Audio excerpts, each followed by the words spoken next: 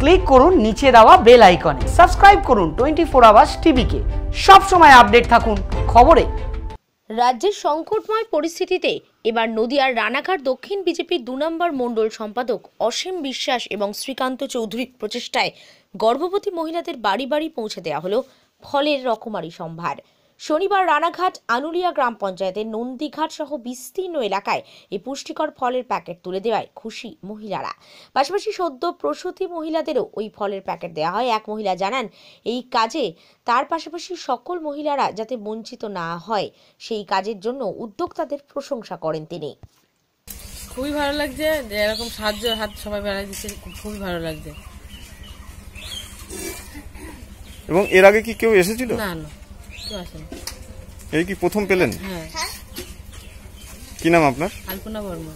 দেখুন আজকে প্রায় দু মাস হতে চলো লকডাউন কিছু প্রান্তিক লেভেলের মানুষ যারা দুবেলা দুমোটা খেতে পাচ্ছে আমার কোনো এক জায়গায় মনে হলো যে এই যারা দিন আনার দিন খায় মানুষ এদের কিছু গর্ভবতী মা বোনেদের হাতে যদি কিছু ফল দিই তাহলে হয়তো এই সময় তাদের যে পুষ্টিটা দরকার কিছুটা হয়তো যোগান দেওয়া সম্ভব হবে।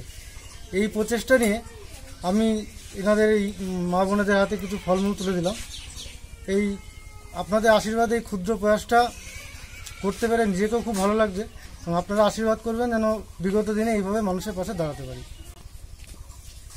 কীভাবে দিচ্ছি মানে নিজের প্রচেষ্টা থেকে দেওয়া মানে খুঁজে খুঁজে এলাকায় খুঁজে খুঁজে কীভাবে দিচ্ছে এর জন্য আমাদের যে বুথ স্তরের নেতা কর্মীরা রয়েছে তারা আমা- আমাদেরকে সাহায্য করেছেন যে এইভাবে খুঁজে দেওয়ার জন্য।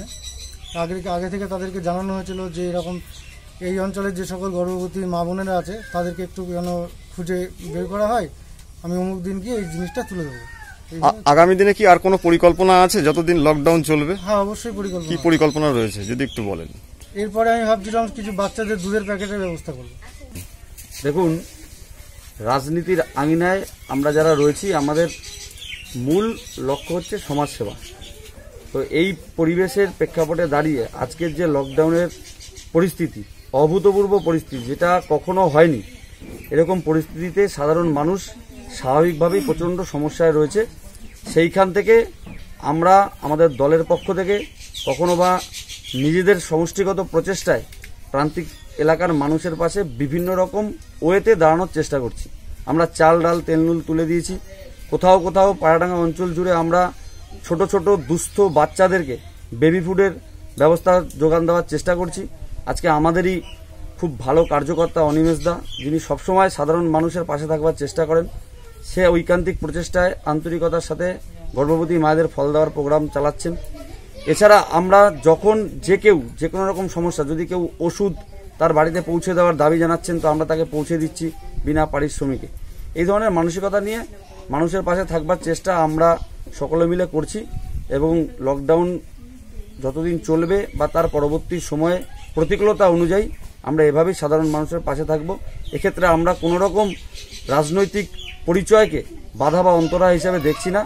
আমাদের এই মুহূর্তে পরিচয় আমি মনে করি যে আমরা মানুষ, রাজনৈতিক মতাদর্শ, ভেদাভেদ ভুলে একযোগে, একসাথে এই মহামারী বিরুদ্ধে লড়াই করাটাকেই আমরা প্রথম এবং মানে একমাত্র গুরুত্বপূর্ণ কর্তব্য বলে মনে করছি। ক্লিক করুন নিচে দেওয়া বেল আইকনে সাবস্ক্রাইব করুন টোয়েন্টি ফোর আওয়ার্স টিভিকে সবসময় আপডেট থাকুন খবরে।